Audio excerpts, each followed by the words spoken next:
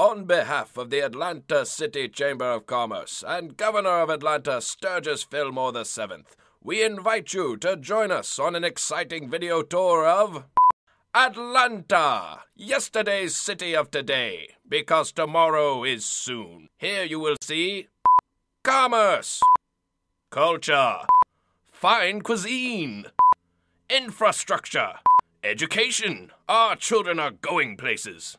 That's right, Atlanta, city of palindromes.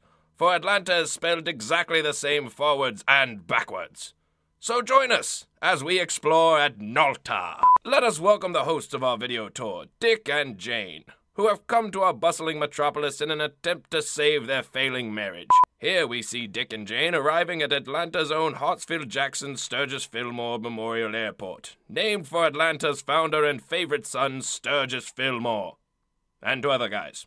Now that our hosts have arrived, how are they going to get around? MARTA! Atlanta's rapid transit system, offering expedient delivery to locations both north and south. Let us away! Once in the heart of our vibrant cityscape, make sure to take in the sights. What sights, you ask foolishly?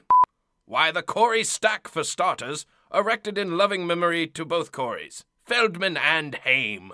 Centennial Park, built in 1799 in honor of Atlanta's Winter Olympic Games. Here we see the honorarium of the brave men and women who perished in its construction.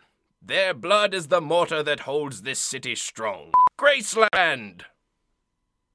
Atlanta's Oakland Cemetery, America's only rock star only cemetery, where you can see such famous faces as Prince, Jimi Hendrix, Billy Joel, Andre Benjamin, better known as Andre II of the Outcasts.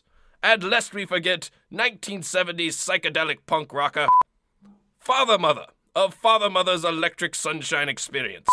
Now we're off to the Margaret Mitchell House, birthplace of famed Atlanta screenwriter Margaret Mitchell, who wrote Herbie, Fully Loaded, and TV's Jag. Stone Mountain, erected in honor of Atlanta's great civil rights leaders. The Atlanta Zoo, home of Willie B., who was tragically killed in a drunken bar fight with none other than Sturgess Fillmore.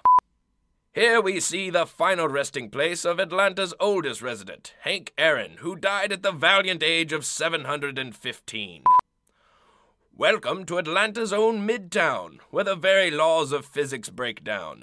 Having trouble finding your way around? Not a problem. For your convenience, all roads here are named Peachtree. But it looks as though our Dick and Jane have found their way to Piedmont Park, home of the famous Washington Monument, a phallic beacon shining out to all of Atlanta's local gay community.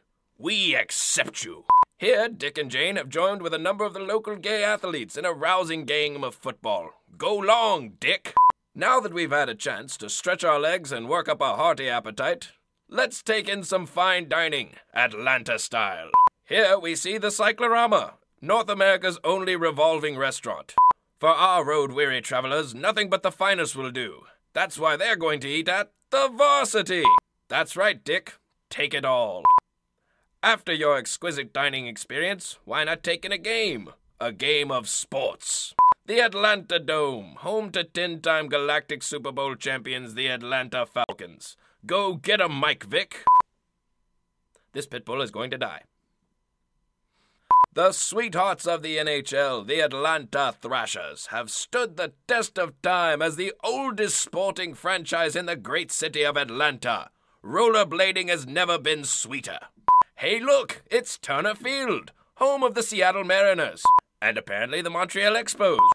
This old man's going to die. He would surely perish if not for the state of the art, world famous facilities of Grady Memorial Hospital.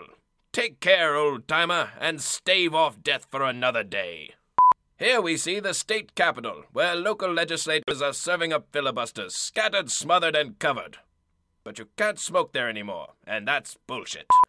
Moving along, we come to the Big Chicken Memorial, built in dedication to Atlanta's most popular mayor, the Big Chicken, whose Reformation Party rebuilt the city after the Great War of 1906.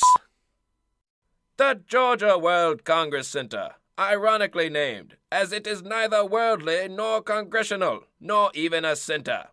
This photo was taken in Detroit. the King and Queen buildings, dedicated to King Sturgess IX and his wife, Queen Latifah. Yes, the coastal city of Atlanta. But don't take our word for it. The Atlanta Journal Constitution is a bastion of journalism and has won the Pulitzer Prize for most typos per capita five years running. But if you're looking for a multinational media conglomerate, look no further than CNN, the clairvoyant ninja network. Better watch out, Dick and Jane, he'll steal your PIN numbers. Did someone say celebrities? We've got 'em. It's professional crossdresser Tyler Perry. But for entertainment of an adult nature, try the Clermont Lounge, where you can get free duct tape. Here we see a Civil War cannon. No, wait. That's the Majestic Westin Hotel, the only hotel in the great city of Atlanta. I've had sweet relations there. And there. Also there. And there. Well, Dick and Jane. And there. Well, Dick and Jane, that brings us to the end of our tour of the teeming municipality of Atlanta. What do you think? What if I were to throw in a free puppy? That's what I thought. To Dick, to Jane, and to all of you out there, Sturgess Fillmore and the Atlanta City Chamber of Commerce wants to extend our most steadfast appreciation to you for joining us in Atlanta, yesterday's city of today, because tomorrow is soon.